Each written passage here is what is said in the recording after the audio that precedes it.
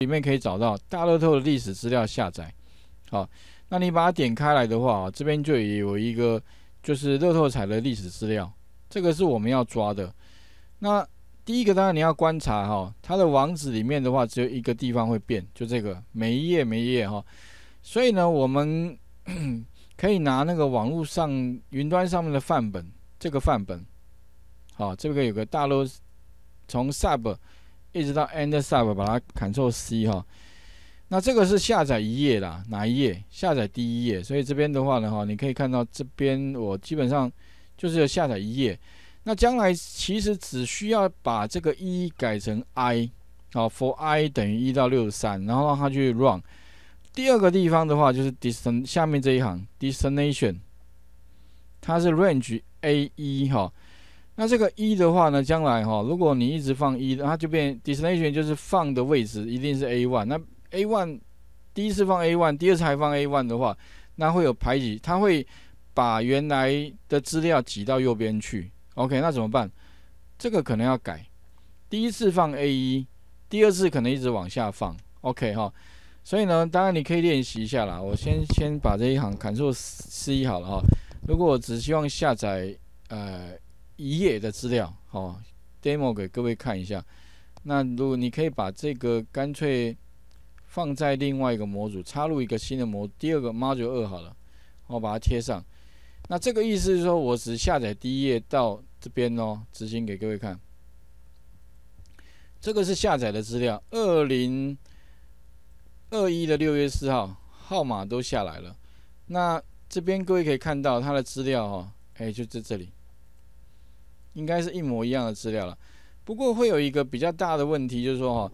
因为呢，它这个网页的格式跟 Excel 的格式哈不相容，所以造成哈这边有一些地方可能要变化一下。因为理论上我们应该是 A 二这个储存格里面应该放一个是完整的日期，可是它变成说它只有放年月日放下面，所以应该是这个应该放一个完整日期。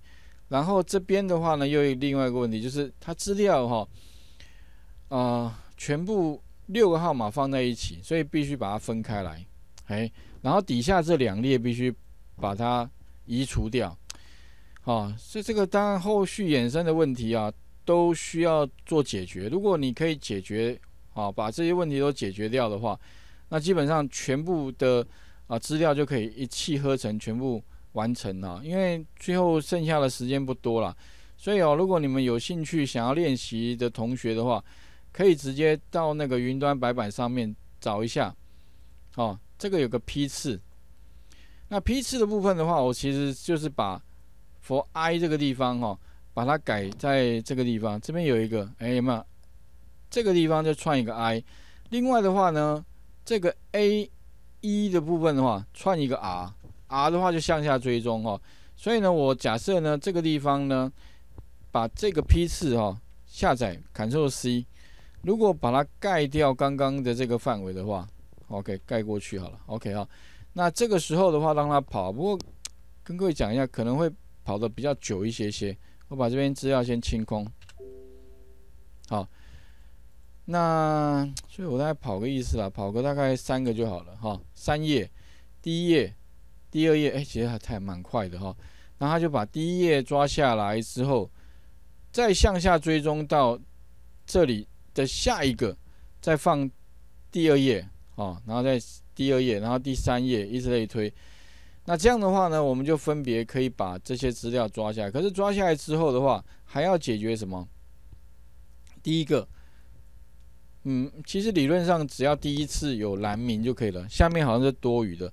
第二个的话是日期，这可能要把这日期结合在一起，变成一个完整的年月日，然后再把这个底下的。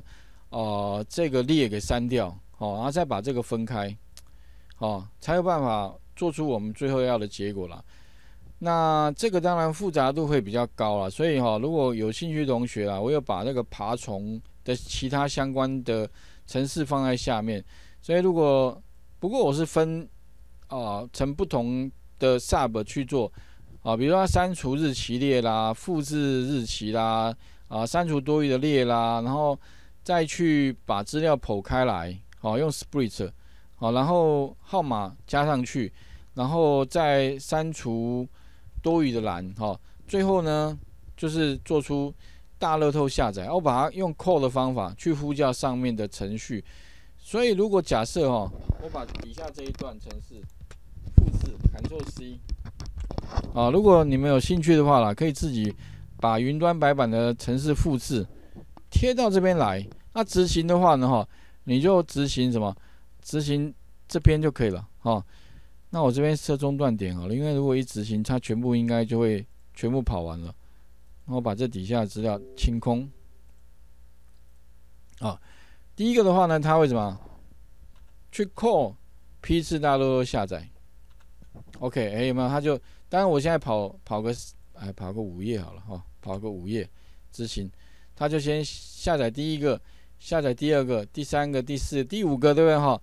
然后就删除，再来就是删除那个日期列，因为底下有多余的列，我就全部把它删掉。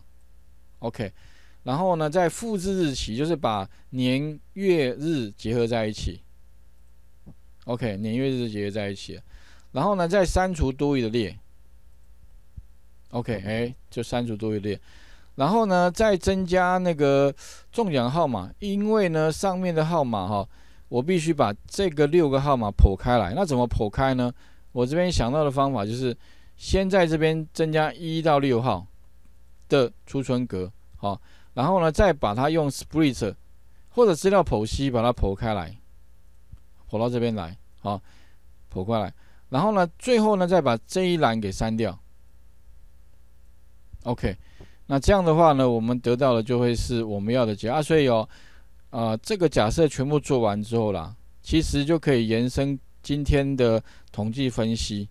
那你就可以算出哪个排名大乐透历年来哪个号码啊出现的次数最高了。OK 哈，那因为时间的关系了哈，那所以呢，我大概把一些啊大乐透的网络爬虫的要点哦，哎，就快速的分享啊。所以如果你假设想要细部的再看的话了哈，可以把我在云端白板上面的城市哦，再稍微看一下啊。基本上你会发现很多地方都雷，都跟前面写的有点雷同，像回圈逻辑判断有没有？回圈逻辑判断这些其实前面都有讲过哈。那删除列的话，建议是反向，所以有一个 step 就反过来删除，不会从从啊下到上删，而不是从。从上面删下来，因为它一直往上递补哈。OK，那这个部分的话哈，哎，请各位呢再另外再找时间哈，再练习哈。那今天主要是把那个数学啊与统计类的函数哈，大概啊讲了两题了哈。那其他的话呢，也许下一次下个礼拜上课的话，我们再来看其他的范例。那另外的话呢，如果大概这些讲完之后哈，也许我们再来就是检视与参照部分，有关 V 的函数或查询相关函数哈。那今天的那个上课呃影片我也把它录下来，一样会放在那个啊论坛里面。OK，那如果有问题的话，你可以把那个细节部分再重新听过啊。有问题的话，也可以在下方留言。OK。